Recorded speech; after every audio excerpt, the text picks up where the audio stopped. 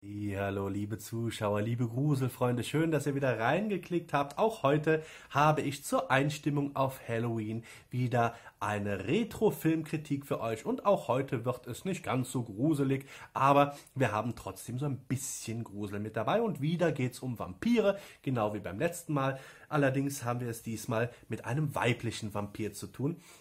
Und äh, ja, der gibt quasi eine Bestellung auf. Und zwar einmal beißen, bitte.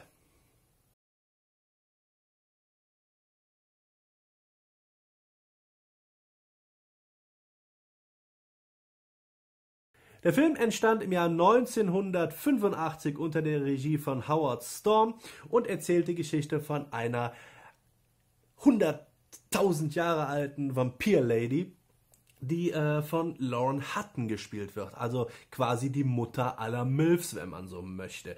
Und die braucht jedes Jahr an Halloween frisches Blut von einer Jungfrau, einer männlichen Jungfrau, ganz wichtig. Den muss sie dreimal vor Halloween beißen, um ihre Jugend und Schönheit zu erhalten. Wobei das Ganze natürlich relativ ist. Allerdings, ich finde Lauren Hutton schon ziemlich heiß, ja, auch damals schon.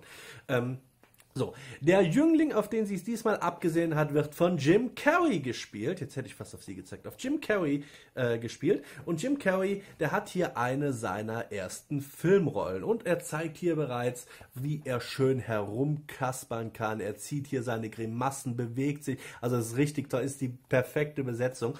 Ähm, der jedenfalls versucht permanent und schon seit längerem bei seiner Freundin zu landen, wie es hier so schön heißt. Ist halt ein Film aus den 80er Jahren, da hat man noch so gesprochen. Allerdings funktioniert das Ganze nicht, also zieht er mit seinen beiden Kumpels nach äh, Hollywood und macht da einen Streifzug durch die Bars und trifft da auf die Vampir-Lady. Die nimmt ihn mit, beißt ihn und fortan ist äh, der junge Mark, so heißt er in dem Film, ähm, ja, wie verwandelt. Auf einmal steht er auf die Farbe Schwarz, läuft halt in Schwarz rum, hat merkwürdige Träume, isst gerne ungebratene Hamburger, trinkt das Braten, äh, den Bratensaft aus dem Glas und ist allgemein halt ähm, etwas anders. So, gleichzeitig merkt seine Freundin allerdings auch, dass etwas nicht mit ihm stimmt und äh, ja, da sie ihn ja doch irgendwie liebt, versucht sie ihn aus den Fängen der Vampir-Lady zu befreien. Das, äh, ob das funktioniert, ich sag mal nix, aber es ist eine äh, 80er Jahre Horrorkomödie, eine Liebeskomödie, auch ein Stück weit dabei. Also da muss man schon sagen, wahrscheinlich geht's gut aus. Was wir hier kriegen, ist jede Menge abgefahrener 80er Jahre Humor, äh, ein paar Sexwitzchen und äh, wir haben zwei der drei Fragezeichen als Synchronsprecher, nämlich den Oliver Rohrbeck und den Andreas Fröhlich. Alleine das ist schon mal was, wo man sagt, Mensch, hier super klasse. Da fühlt man sich direkt wie zu Hause. Toller 80er Jahre Soundtrack ist ja auch noch dabei. Dazu ja, der, der Humor, es ist einfach toll. Es ist ein ganz großartiger Film und äh, ja, ich sagte ja bereits, es ist eine Retro-Filmkritik, denn diesen Film, äh, ich meine, ich habe ja viele Filme vorgestellt, auch ältere Filme, die keine Retro-Filmkritiken sind. Retro-Filmkritik ist bei mir ja immer ein Film, den es so nicht zu haben gibt. Zu haben gibt. Also den man so nicht kaufen kann. Diesen Film den gibt es zu kaufen. Der wurde im Jahr 2005 auf DVD veröffentlicht, ist allerdings mittlerweile nur noch zu Mondpreisen erhältlich und ähm, ich habe leider auch keine DVD gekriegt. Ihr seht schon, das hier ist eine selbstgebastelte Hülle aus der damaligen VHS-Kassette. Ja, als ich das noch konnte, habe ich äh, meine VHS-Kassetten digitalisiert. Ich hatte damals noch einen Videorekorder, der wurde dann angeschlossen, aber ihr kennt das Verfahren vermutlich. Und äh, da habe ich meine VHS-Kassette, das war eine Original UFA, glaube ich. Genau, hier oben haben wir noch so ein Stückchen von dem UFA drauf.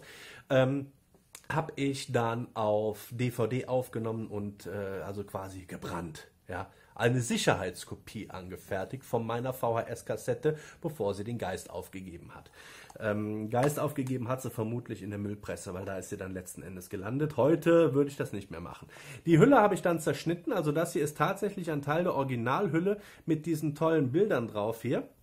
Und dann auch hier äh, mit großer aktueller Kinohit-Vorschau. Hier waren also tatsächlich damals schon Trailer davor, vor dem Film. Ähm, Obwohl hatten die damals oft, ne? Ja, da hatten die damals bei den, bei den äh, Kaufkassetten eigentlich fast immer so Trailer mit davor. So eine kleine Trailershow. Also so sah die Videokassette damals aus. Und ähm, ich würde mich wahnsinnig freuen, wenn irgendein Label, äh, Turbine, ihr seid gefragt, ja, oder Anolis, wenn irgendein Label sich diesen Film oder die Rechte daran äh, sichern würde und den neu auf Blu-ray auf den Markt bringt, ja, am besten auch mit dem Cover hier, weil das Cover der DVD, ich habe mir das mal angeguckt, das hier ist schon cool, finde ich. Also das ist Original Kinocover. Außerdem, es gibt viele Gründe, diesen Film hier neu zu veröffentlichen. Und hier, guck mal hier, Nummer 1 Kinohit in den USA. so haben die damals das beworben. Ja, damals äh, liefen ja nicht alle Filme hier im Kino, es, als die Videotheken aufgemacht haben, wurden ja viele Filme direkt auf Video veröffentlicht und dann haben die äh, um die Gunst der äh, Leier gebuhlt und dann meistens hier mit solchen Sprüchen hier Nummer 1 im Kino USA, der Hit, ungekürzt. Äh, die Älteren werden sich erinnern. Dieser Film Ganz große Klasse, ganz großes Kino. Wenn ihr den irgendwo bekommen könnt, dann schaut ihn euch an. Und wenn nicht, äh, dann hoffe ich, ich habe euch trotzdem nochmal auf das Halloween-Fest einstimmen können. Denn das ist so ein Film, den ich mir in der Vor-Halloween-Zeit eigentlich ganz gerne angucke. Weil er ist, ja, nee, gruselig ist er nicht. Aber es sind Vampire drin. Und zwar welche, die nicht glitzern. Und ganz viele halbnackte Frauen. Und Männer. Also generell. Toller Film. Wenn euch das Video gefallen hat, ihr wisst Bescheid. Und ansonsten vielen Dank für die Aufmerksamkeit. Bis zum nächsten Mal, euer Michael Speyer.